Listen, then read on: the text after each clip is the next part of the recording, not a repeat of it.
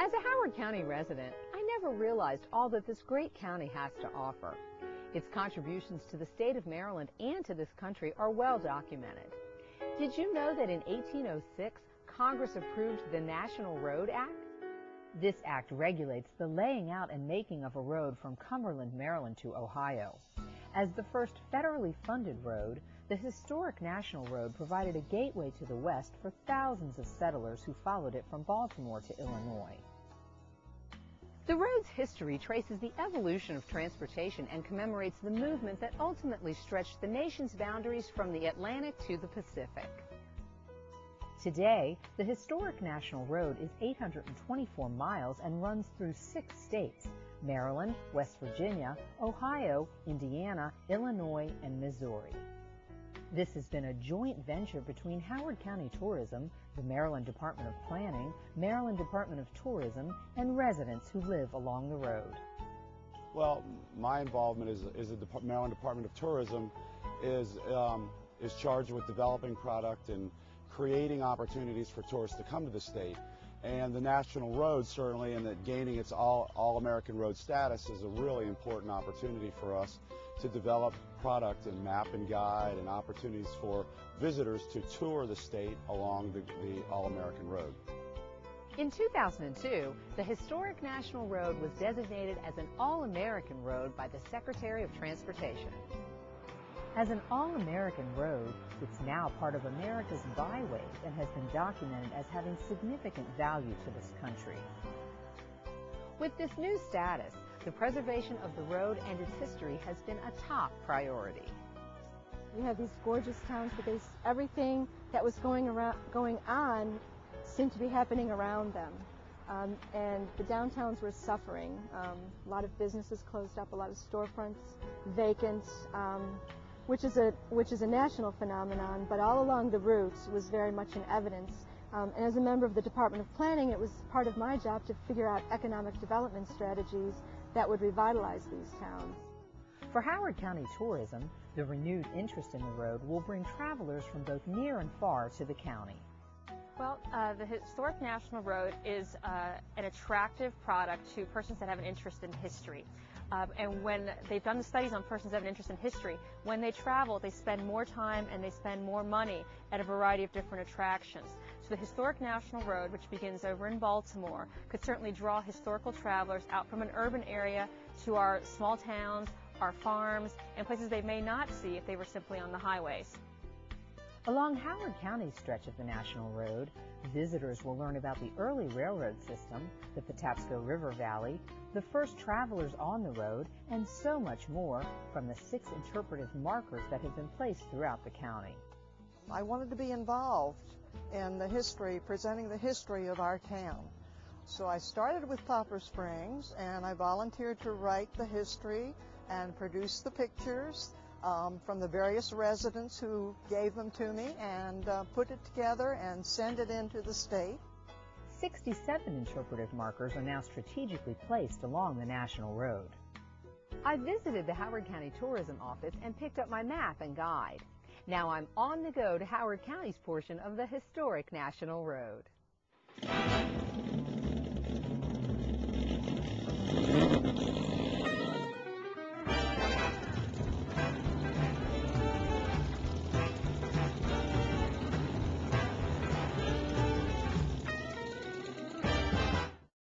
My first stop is the B&O Railroad Museum located on Main Street in Ellicott City.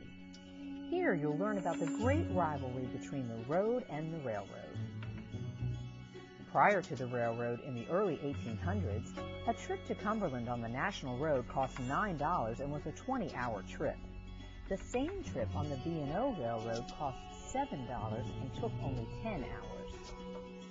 While the National Road was the main hub of transportation for the first few decades of the 1800s, the railroads would later contribute to its demise because more and more people began using the railroad as their main source of transportation. As I continue on Main Street, I come across the next Howard County marker on the National Road, and it's located at the Thomas Isaac Log Cabin. At this site, you'll learn all about the roads the Ellicott brothers built. As successful businessmen, Andrew, Joseph, and John initiated a road expansion that would run west to Doughoregan Manor, home of Charles Carroll, a signer of the Declaration of Independence. By the late 1700s, Andrew's son Jonathan got into the act. Jonathan oversaw the extension of a road to Frederick. This road would later become the Frederick Turnpike. The Frederick Turnpike, along with a system of roads built by the Ellicotts, was instrumental in the 1806 congressional decision to build the first federally funded road west from Cumberland, now called the historic National Road. On Frederick Road in West Friendship lies the marker that tells the story of how goods and services were transported on the National Road.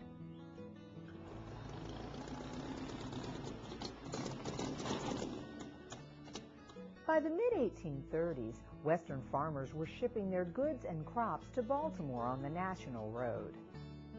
As goods traveled east to Baltimore, they increased the productivity of the Port of Baltimore and helped local merchants to reach a world market. Today, local merchants still reap the rewards of being located on the National Road. It's about the historic significance, the uh, uh, how important it is to the community in general, and so uh, that was really what attracted me to, to, to, purchase the business was the fact that it was here in the historic district and that uh, there was a lot more going on besides just you know just the business aspects itself. So it really is a, a community. Uh, you know, all the business owners get along uh, pretty well. We all know each other and we all look out for each other. So um, I just think I got get that a lot more here than I would have gotten any other retail location. Longtime residents along the road have always had an appreciation for its history and its culture. But we think the National Road is just a great place to live next to. It's we call it Route 40, the old Route 40. But I was born here 73 years ago. Been on the road that long, and remember watching the Army trucks go up and down during Second World War. This was the main route going through Ellicott City into Baltimore and down to Fort Meade also. And uh, it's an area that even the people that used horses in those days looked at those milestones and they knew each mile they had gone. And earlier days, they actually replaced the horses occasionally for rest. My next stop on the National Road is very significant to the history of African Americans in this country. An interpretive marker titled Creating a Unified Community of Strength can be found at both the Simpson and Mount Gregory United Methodist churches. At these sites, You'll learn how Methodist churches were a great source of inspiration for up-and-coming African American communities as they moved westward along Baltimore and the Fredericktown Turnpike. Simpson Poplar Springs, or the Mother Church as it was fondly called, was developed on a farm donated to a black sharecropper in 1893. This one-room church served only a little more than 12 parishioners who lived in a small black neighborhood of Schaefersville. Today, Schaefersville is part of Mount Airy in Howard County. Mount Gregory United Methodist Church began its services in 1898 in the lower level of the Warfield Academy. The original old stone building was deeded for the sole purpose of educating black children in nearby Cooksville. After a fire destroyed the original building in 1922, the current structure, which was built in 1927, continued to educate blacks. The church also provided leaders for the African American community. The United Methodist Women and the United Methodist Men organizations were crucial to black society after the Civil War. They provided reading programs, aid to the disabled, and meals to the needy. As I continue my journey along the National Road, my travels take me to New Lisbon. Back in 1802, a Quaker named Caleb Pancoast established New Lisbon. The entrepreneur saw both a need and opportunity to service travelers along the length of the National Pike. Many of you know this town as just Lisbon. The name was shortened in 1805. The marker located at Frederick Road and Church Alley by the Lisbon Elementary School tells the story of how merchants provided dining and lodging services to travelers as they stopped along the National Pike. All religious denominations were welcomed into Pancoast's home, and he even allowed it to be used as a meeting house. By 1835, the town of Lisbon thrived. Stagecoaches made daily stops at the old Stagecoach House, where trading took place and lodging was provided. Today, Caleb Pancoast's house and the Stagecoach House no longer exist. However, just across the road to your left is a two-story brick home.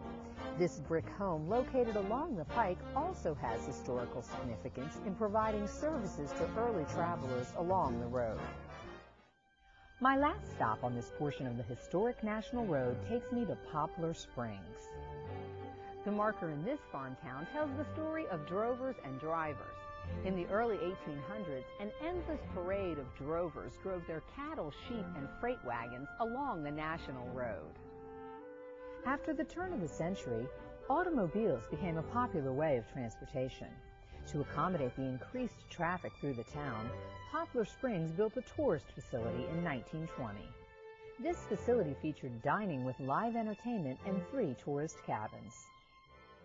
I've just showed you a taste of Howard County's portion of the historic National Road. As you travel down this road, a road that so many traveled years ago, you will learn some wonderful things about the history of the county. So, get a few family members or a few friends and set out on a journey to discover Howard County on the historic National Road.